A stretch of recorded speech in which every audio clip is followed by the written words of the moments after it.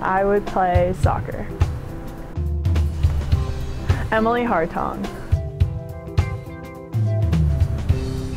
Store-bought, Acacia. Megalodon, the giant shark. NFL. um, aspirations, pursue a master's degree, uh, get a job that I enjoy, travel the world. Puppies for sure. Captain America. Emily Hartong. Morning practice. I never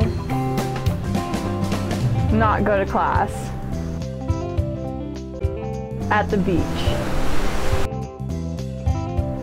Food. Pizza. Still gotta go with Paul Walker. Uh, never give up. Little Rascals.